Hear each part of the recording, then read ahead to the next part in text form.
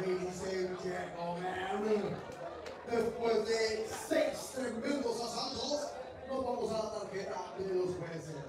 Y una vez comprobado más que la volvió a hacer con este gran, gran compromiso boxístico, gran, gran pelea de estos dos guerreros. Después de seis asaltos, vamos a la tarjeta de los jueces. El juez Iván Velasco tiene una puntuación de 58 a 56 a favor de Valdés. Después, Jesse Hernández tiene una puntuación 56 a 58 a favor de Montegano. Y el juez Francisco Pacheco tiene una, tiene una puntuación 58 a 56 a favor y vencedor por decisión dividida o en favor winner by split decision. Damas